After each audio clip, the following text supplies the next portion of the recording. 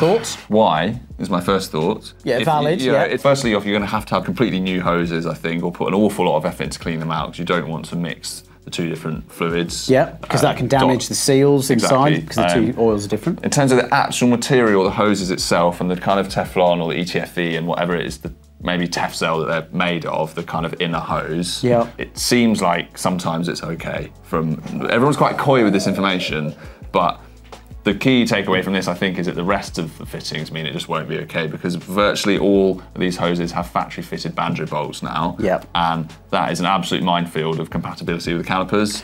you know, even within yeah. specific models Yeah, of specific, specific brands, brands, they yeah. have different banjo bolts and they've slightly different holes in and it just won't fit. Yeah, you can try, but the best way is to, if you've got a SRAM brake, keep with the SRAM hoses. I think would think be the best answer. Yeah.